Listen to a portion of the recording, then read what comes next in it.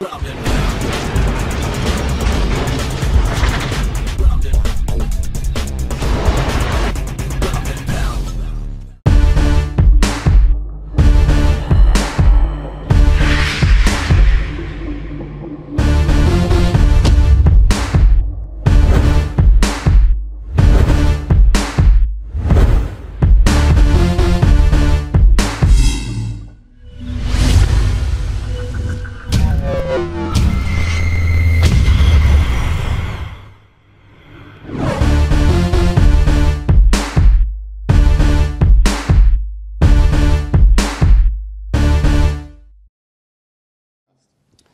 An meiner Seite befindet sich der frühere WEC-Champion Mike Brown, der in Zukunft auf Daniel Pineda treffen wird bei der UFC, aber hier derzeit in Schweden seinen Teamkollegen Brad Pickett bei der Vorbereitung hilft. Dementsprechend werden wir dazu einige Fragen stellen.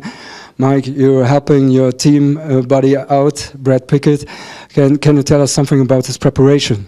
Uh, yeah, he's one of my, my best friends, man, and he, he trained hard, and uh, a lot of people don't understand how uh, physically gifted the guy is. He's he uh, he can keep a very very high pace for a 15 minute fight, and it's hard to keep up with him.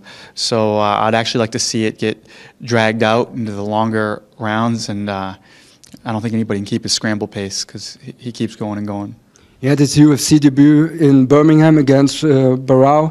It was a tough loss. Can you tell us something about what did he change now in training?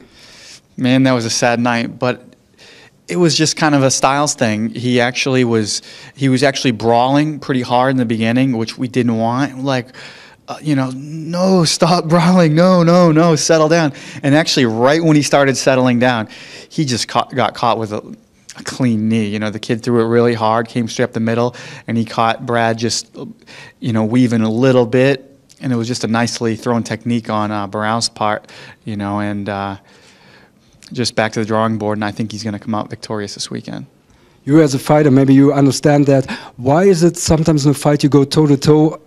Because your corner is keep down, keep low, and uh, you, you go toe to toe. Yeah, sometimes it's a little bit of ego thing. You know, sometimes you're just in the moment. Uh, for Brad, it seems to be all the time. Uh, that's kind of his style. He likes to just go, go, go, and uh, on his feet, he, uh, he he tends to get hit a lot sometimes, and he doesn't mind getting hit too, too much, and he likes to give back. Uh, but this time, it was just a tough knee. Um, that's part of the game. You will face Daniel Pineda in a couple of weeks. Tell us something about uh, your opponent. What do you know? well, he's a a young, scrappy kid, man. He uh, he throws hard, a lot of overhand rights. He throws everything looks like with uh, bad intention, and uh, it's similar to my style on the feet. You know, I, I like to throw hard. I don't use a lot of jabs. I throw all power punches and uh, look for the takedown. He uh, he finishes a lot of fights. I think win or loss, he's never gone the distance. So uh, it's going to be high high paced. You, as a former WEC champion, do you think it's more pressure on you this time?